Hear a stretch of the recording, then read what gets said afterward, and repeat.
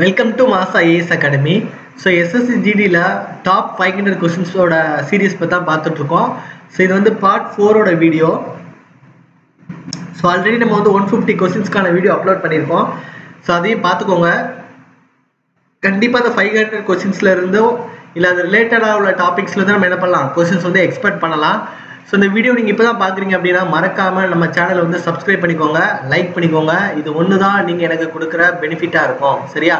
So நீங்கள் பண்ணுற like அப்படி சப்ஸ்கிரைப் தான் நிறைய ஸ்டூடெண்ட்ஸ்க்கு வந்து இது வந்து போய் சேர்றதுக்கான ஒரு வழியாக இருக்கும். ஸோ ஃபர்ஸ்ட் கொஸ்டின் பார்க்கலாம். As per the Constitution of India, Supreme Court judges in India retire at the age of இந்திய அரசியலமைப்பு சட்டத்தின்படி அந்த உச்ச நீதிமன்ற நீதிபதிகள் இருப்பாங்கல்ல அவங்க எந்த வயதில் வந்து ஓய்வு பெறுவாங்கன்னு சொல்லி கேட்டிருக்காங்க. எந்த வயதில் ஓய்வு பெறுவாங்கன்னா அறுபத்தஞ்சு வயசு. ஸோ அவங்க அறுபத்தஞ்சு வயசு வரைக்கும் பதவியில் இருக்கலாம். அதுக்கு மேலே அவங்க என்ன பண்ணிடுவாங்க? ரிட்டையர்ட் ஆயிடுவாங்க. சரியா? ஸோ செகண்ட் கொஸ்டின் பாருங்க. This is an extra constitutional body கூடுதல் அரசியலமைப்பு எது? சொல்லி கேட்குறாங்க சரியா? இல்லை அந்த கான்ஸ்டியூஷன் பாடியில் எக்ஸ்ட்ரா அரசியலமைப்பு எதுன்னு சொல்லி கேட்டிங்கன்னா திட்டக்குழு. அதோட பேர் தான் வந்து என்னது? நிதி ஆயோக். இது வந்து கான்ஸ்டியூஷனல் பாடி கிடையாது எக்ஸ்ட்ரா கான்ஸ்டியூஷனல் பாடி அப்படின்னு சொல்லுவாங்க. சரியா?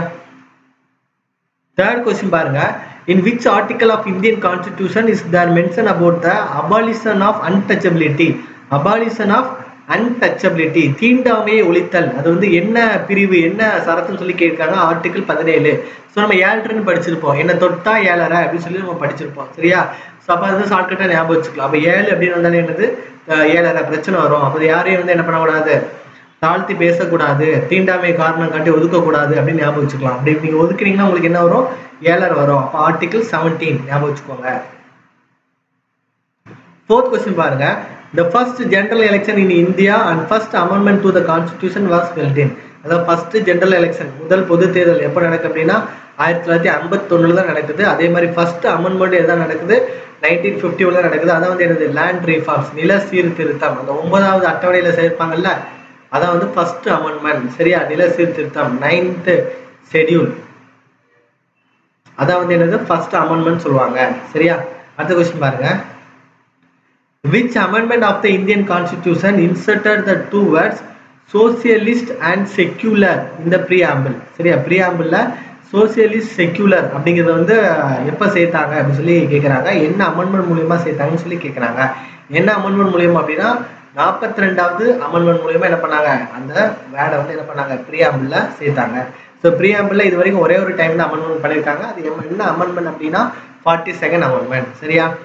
அடுத்த கொஸ்டின் பாருங்க. Which constitutional amendment act added part 9 panchayat Raj system to indian constitution? எந்த அரசியலமைப்பு சட்டத்திட்டம் இந்திய அரசியலமைப்பில் பஞ்சாயத் ராஜ் அமைப்பின் ஒன்பதாவது பகுதியை சேர்த்தது. சரியா?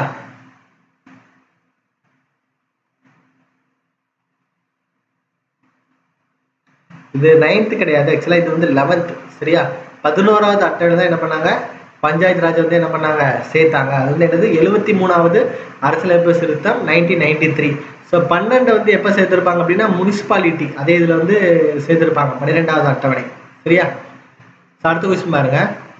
This is the total value of goods and services produced in a country and is measured over a specific time frame அதாவது ஒரு நாட்டில் உற்பத்தி செய்யப்படும் பொருட்கள் மற்றும் சேவைகளின் மொத்த மதிப்பு ஒரு குறிப்பிட்ட காலத்தில் எதை வச்சு அளவிடுவாங்க அப்படின்னா ஜிடிபி கிராஸ் டொமஸ்டிக் ப்ராடக்ட் வச்சு என்ன பண்ணுவாங்க? அளவிடுவாங்க. சரியா? ஸோ அடுத்த கொஸ்டின் பாருங்க.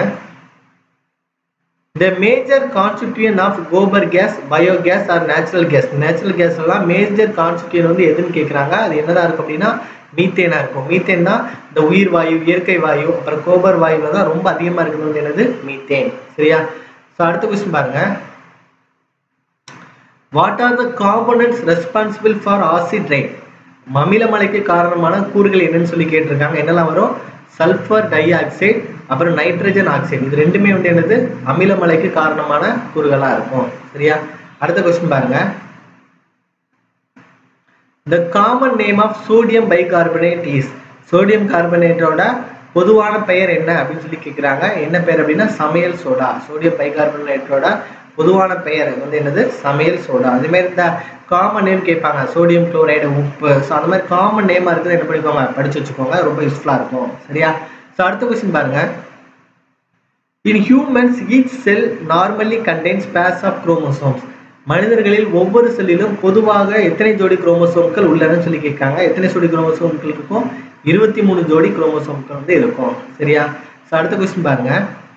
The suicidal bags digestive bag are atom bomb of the cellar இந்த சூசைடல் பேக் அதாவது தற்கொலை பைகள் செரிமான பைகள் அல்லது அணுகுண்டு இதெல்லாம் என்ன இருக்கும் என்ன செல்லை வச்சு மேட் பண்ணிப்பா சொல்லி கேட்டாங்கன்னா அதுக்கு பேர் வந்து என்னன்னா லைசோசோம்ஸ் லைசோசோம்ஸ் சரி அதோட செல்லை வச்சு என்ன பண்ணியிருப்பாங்க மேக் பண்ணியிருப்பாங்க அடுத்த கொஸ்டின் பாருங்க.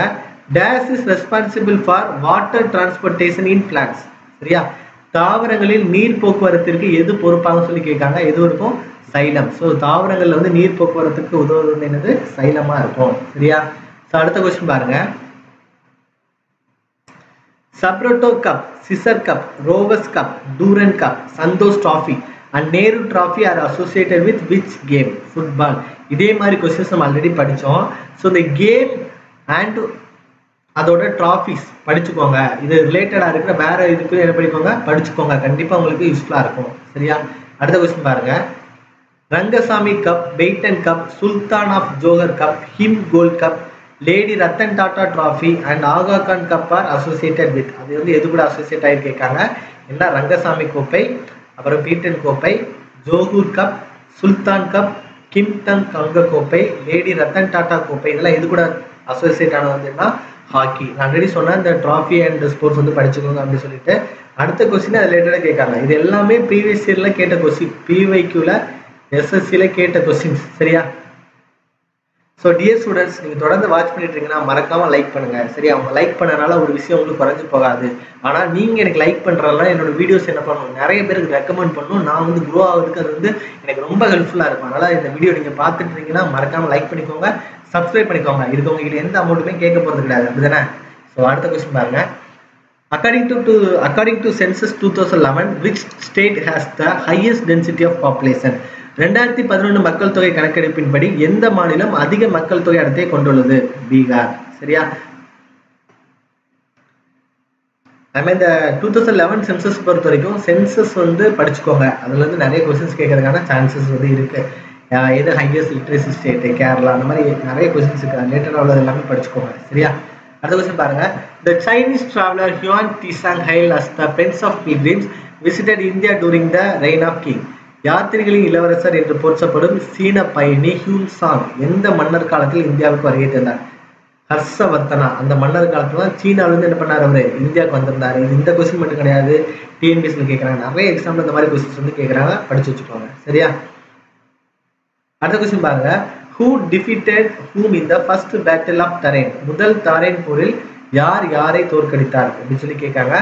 பிருத்திவிராஜ் சௌகன் முகமது கௌரியை வந்து தோற்கடிச்சாரு. பிஎம் வந்து தோற்கடிச்சாங்க. அதாவது பிருத்திவிராஜ் சௌகன் முகமது கௌரியை வந்து ஃபர்ஸ்ட் வாரில் தேர்ந்தெடுத்தாங்க ரெண்டாவது வாரில் பார்த்தீங்க அப்படின்னா அப்படியே ரிவர்ஸ்ல இருக்கும். முகமது கௌரி வந்து பிருத்திவிராஜ் சௌகன் வந்து என்ன பண்ணியிருப்பாரு? தோற்கடிச்சிருப்பாரு.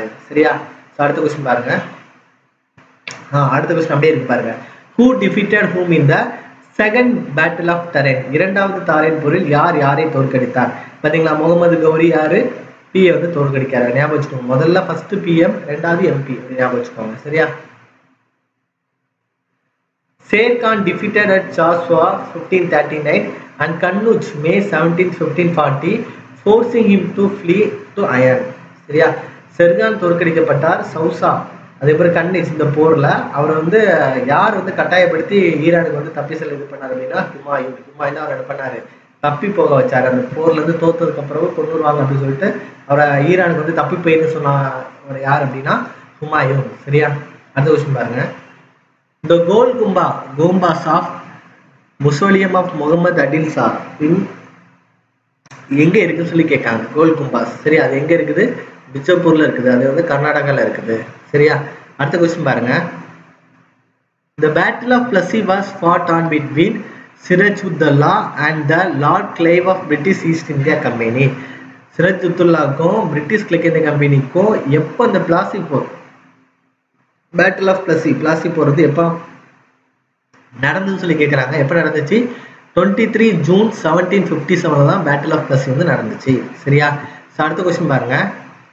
Who became the first governor general of Bengal in seventeen seventy three சரியா? Who became the first governor general of Bengal in seventeen seventy three வங்காளத்தின் முதல் கவர்னர் ஜெனரலாக பதவியேற்றவர் யார்? அப்படின்னா யாரு? Warren Hastings.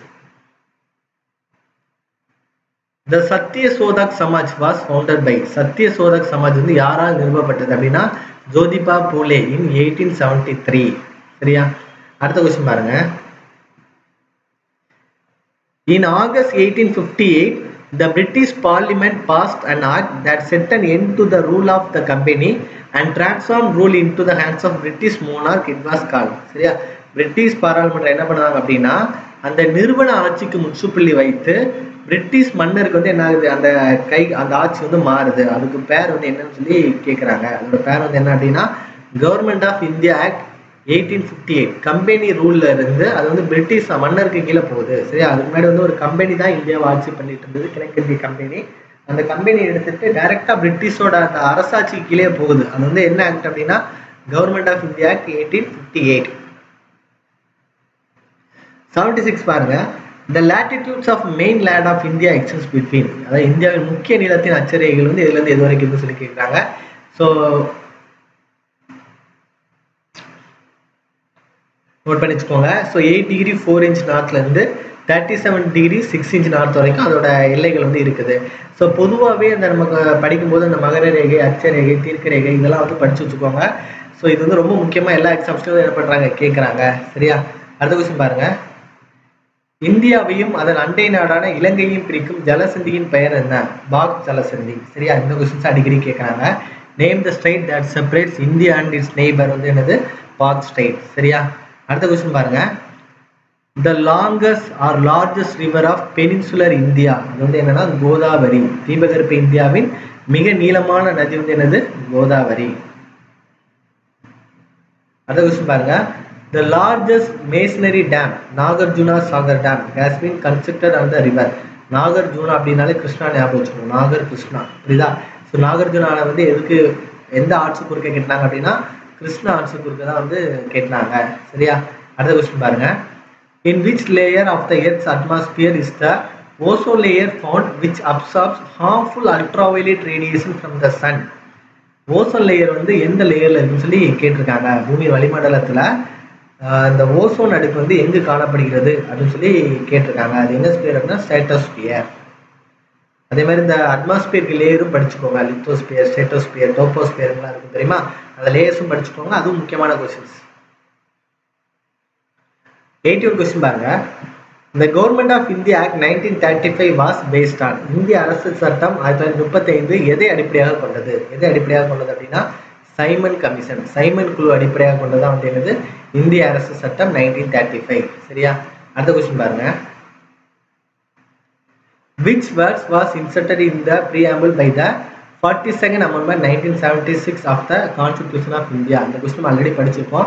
ஆயிரத்தி தொள்ளாயிரத்தி எழுபத்தாறு அதாவது எழுவத்தாறுல இந்த வேர்டை வந்து socialist secular and integrity add பண்ணாங்கன்னு படிச்சோம். அங்க அந்த கொஸ்டின் என்ன கேட்டிருந்தாங்க? என்ன அமெண்ட்மெண்ட் கேட்டிருந்தாங்க? இந்த கொஸ்டின் கொடுத்துருக்காங்க? அமெண்ட்மெண்ட்டை கொடுத்துட்டு என்ன கேட்டிருக்காங்க? அந்த வேர்ட்ஸ் வந்து கேட்டிருக்காங்க. ரெண்டோட வித்தியாசம் புரிஞ்சுக்கோங்க. திரும்ப திரும்ப இதே தான் கேட்குறாங்க படிக்கிறத நோட்ஸ் எழுதி தெளிவாக படிச்சுக்கோங்க. சரியா? Article 12 to 35 of Indian Constitution mainly deals with fundamental rights given in dash constitution. எதுல கொடுத்துருக்காங்கன்னு சொல்லி கேட்குறாங்க பார்ட் த்ரீல கொடுத்துருக்காங்க part three of the Indian கான்ஸ்டிடியூஷன்ல கொடுத்துருக்காங்க சரியா அடுத்த கொஸ்டின் பாருங்க A dash is a formal document containing an order of the court to the government issued only by the High Court of the Supreme Court of India. அதாவது உம், அதாவது high court of India இல்லைன்னா supreme court of இந்தியாவுக்கு என்ன இது வந்து ஒரு formal document அதாவது ஃபண்டமெண்டல் ரைட்டை பாதுகாக்கிறதுக்காக கொடுக்கப்பட்ட டாக்குமெண்ட் வந்து என்னன்னு கேட்டாலே ரிட்ஸ் தான். சரியா? பேராணை சொல்லுவாங்க. தமிழில் வந்து என்னது? பேராணை. எத்தனை ரிட்ஸ் இருக்குது அப்படின்னா அஞ்சு ரிட்ஸ் இருக்குது இது எல்லாமே வந்து அரசியலமைப்போட ஆன்மா இல்லை இதயம் போன்றது அப்படின்னு யார் சொல்லிட்டு போயிருக்காங்க? அம்பேத்கர் வந்து சொல்லிட்டு போயிருக்காங்க. அந்த அளவு ரொம்ப ரொம்ப முக்கியமானது. இது யார் கொடுக்குறாங்கன்னு சொல்லி கேட்டாங்கன்னா உச்சநீதிமன்றத்தால் மட்டும்தான் வந்து என்ன பண்றாங்க? கொடுக்குறாங்க.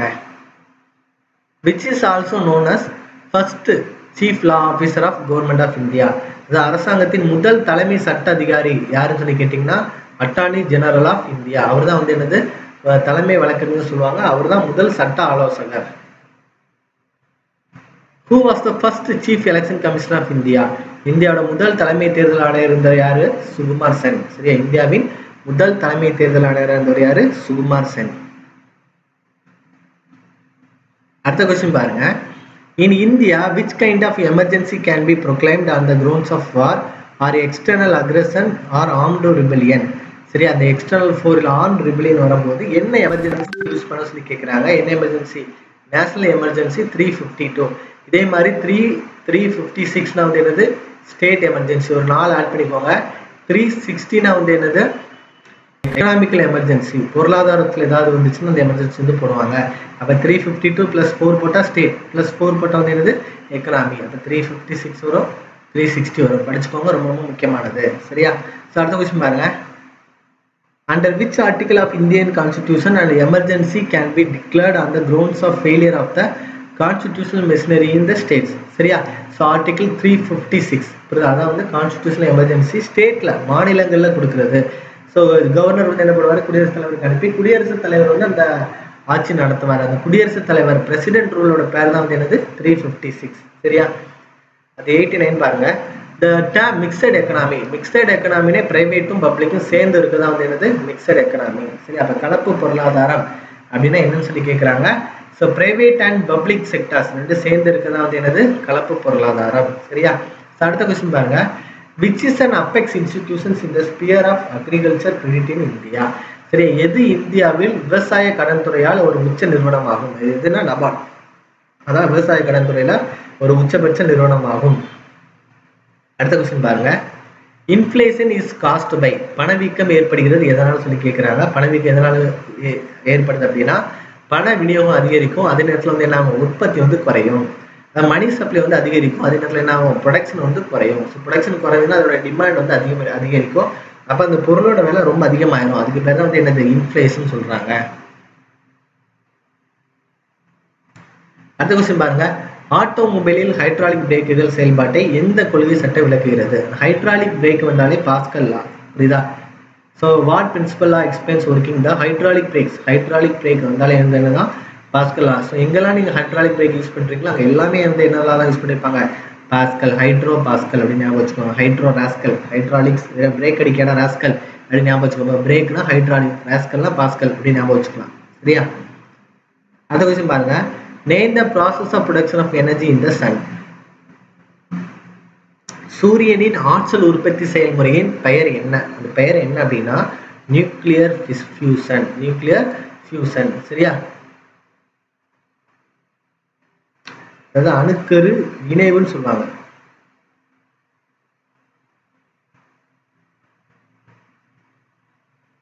ஃபியூசன் சாங்ஸ் ரெண்டு மூணு சாங் ஒன்றா சேர்த்து பண்ணுவாங்கல்ல நம்ம நீங்கள் ஞாபகம் வச்சுக்கோங்க. சரியா?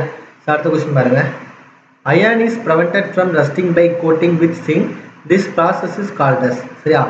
அதாவது நம்ம து- இரும்பு வந்து துருப்பிடிக்காமல் இருக்கிறதுக்கு அதுக்கு மேலே என்ன பண்ணுவாங்க? துத்தை நாங்கள் வந்து பூசுவாங்க. அந்த இதுக்கு பேர் வந்து என்னன்னு சொல்லி கேட்குறாங்க அதோட பேர் வந்து என்னது? கால்வனைசேஷன் சரியா?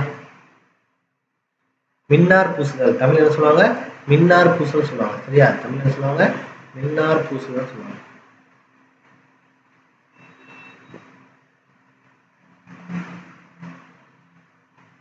The acid used in lead storage cell. Lead storage செல்ல என்ன ஆசிட் இருக்கு? நம்ம பேட்டரி இருக்குல்ல அதுல வந்து என்ன ஆசிட் இருக்கு அப்படின்னா சல்ஃபியூரிக் ஆசிட் வந்து இருக்குது. சரியா? அடுத்த கொஸ்டின் பாருங்க. What is the principal ore of aluminium அலுமினியத்தின் முக்கிய தாது என்ன? பாக்சைட் அலுமினியத்தின் முக்கிய தாது என்ன? பாக்சைட் சரியா? அந்த கொஸ்டின் பாருங்க. The insert gas which is substituted for nitrogen in the air used by deep sea divers for breathing is அதாவது காற்றில் நைட்ரஜனுக்கு பதிலாக ஆழ்கடலில் மூழ்பவர்கள் சுவாசிக்க பயன்படுத்தும் மந்த வாயு எதுன்னு சொல்லி கேட்காங்க அந்த மந்த வாயு வந்து என்னது? ஹீலியம். சரியா? அதை வச்சு பாருங்க. Greenhouse effect global warming is caused by பசுமை இல்ல வாயு இல்ல புய் வெப்பமடைதல் எதன் மூலியமா ஏற்படுது சொல்லி கேட்குறாங்க எதன் மூலியம் ஏற்படுது அப்படின்னா கார்பன் டை ஆக்சைடு மூலியமா தான் ஏற்படுது. சரியா? So, அடுத்த கொஸ்டின் பாருங்க. The gas involve in Bhopal incident was சரியா?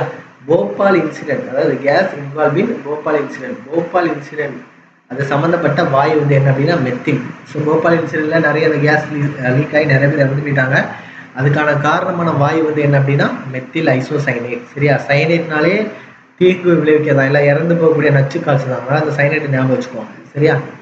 லாஸ்ட் கொஸ்டின் பாருங்க. Which vitamin is popularly known as the sunshine vitamin as it is obtained from the sunrise so சூரிய சூரிய வந்து பெறக்கூடிய அந்த விட்டமின் அதுக்கு பேரே வந்து என்னன்னா சூரிய ஒளி விட்டமின் தான். சரியா? ஸோ அது வந்து என்ன சொல்கிறாங்கன்னு சொல்லி கேட்குறாங்க அதோட பேர் வந்து அதோட பேர் வந்து என்னன்னு சொல்லி கேட்குறாங்க அதோட பேர் வந்து என்னது? விட்டமின் டி புரியுதா? ஸோ இவ்வளோதான் ஸோ நமக்கு வந்து பார்ட் ஃபோர் கிட்டத்தட்ட டூ ஹண்ட்ரட் கொஸ்டின்ஸ் வந்து நம்ம அப்லோட் பண்ணியிருக்கோம். இன்னும் த்ரீ ஹண்ட்ரட் கொஸ்டின்ஸ் நம்ம என்ன பண்ணிடுவோம் அப்லோட் பண்ணிடுவோம் ஸோ தொடர்ந்து நமக்கு சப்போர்ட் பண்ணுங்கள் so thank you so much for வாட்சிங்